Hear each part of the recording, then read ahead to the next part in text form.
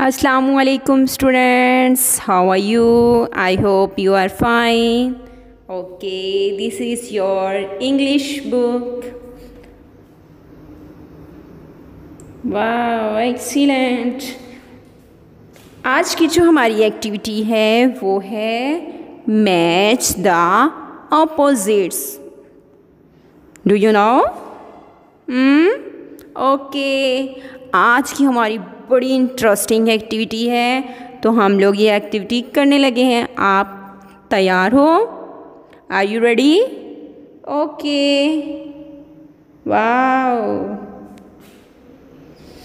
match the opposite match the opposites okay firstly मैं सारे words read करूँगी और इसके बाद हम इनको, इनके ऑपोजिट्स के साथ मैच कर देंगे। Okay long long long clean clean far far dry dry happy happy wet wet sad sad, short short, dirty dirty, near near. Okay अब हम लोग इनको, इनके ऑपोजिट्स के साथ क्या करेंगे? मैच करेंगे. क्लीन डर्टी क्लीन मीन होता है साफ़ और डर्टी मीन गंदा. Clean dirty clean dirty far और इसका अपोजिट क्या होगा?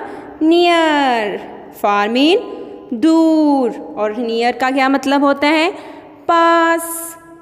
फार का अपोजिट क्या होगा? Near near long short long short long short long का मतलब लंबा। और शॉर्ट का मतलब क्या होता है? छोटा। लॉन्ग मीन लंबा। और शॉर्ट मीन छोटा। लॉन्ग का ऑपोजिट क्या होगा? Short long short long short next है हैप्पी हैप्पी हैप्पी का ऑपोजिट क्या होगा? सैड हैप्पी का ऑपोजिट क्या होगा? Sad happy sad happy mean खुश होना और सैड का क्या मतलब है? उदास हो जाना. Happy sad happy sad happy sad dry wet dry mean खुश्क. ड्राई मीन खुश्क. और वेट मीन गीला. गीला। ड्राई ड्राई का ऑपोजिट क्या होगा?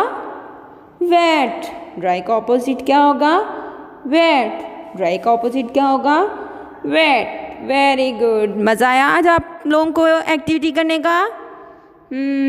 ओके अल्लाह हाफिज़. God bless you